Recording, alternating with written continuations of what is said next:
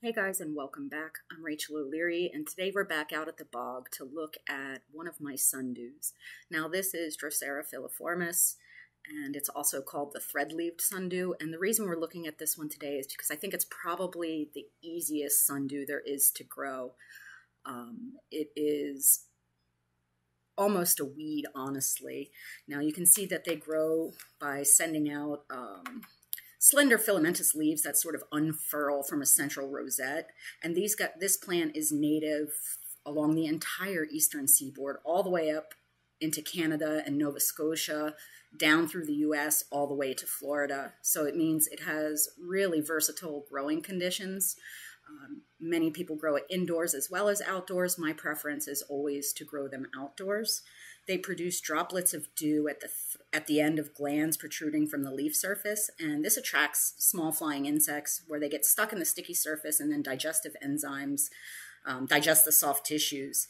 Now, some species of sundew have leaf movement, but this one doesn't. During the winter dormancy, the leaves all die back, leaving a central rosette or hibernacula, often which turns black. Um, I cover mine in the winter with burlap and six to eight inches of pine litter to protect the plants uh, though these guys are pretty darn bomb-proof.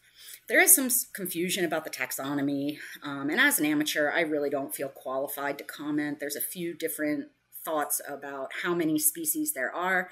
I'm not even entirely sure which one I have. Um, I find the threadleaf sundews, though, to be super easy to grow, extremely rewarding, easy to flower, and as you can see, they spread readily.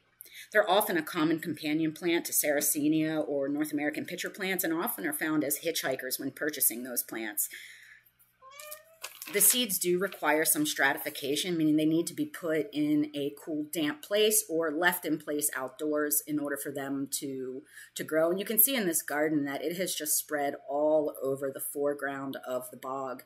Um, I do have a bunch of other sundews as well, so if you're interested in content like this, let me know down in the comments and I can do more species spotlights for you. As always, thank you for your continued support, and I hope you've learned like learning a bit more about the sundews. Um, similar to my pitcher plants, these guys are kept in a soil mix that is half sand, half peat. Um, they do well in this bog environment. They don't like it as wet as some other plants, though, again, they are almost bomb proof, really, really cold tolerant, and with that red color and the tall structure, they can get up to 18 inches tall. Just a really, really great plant.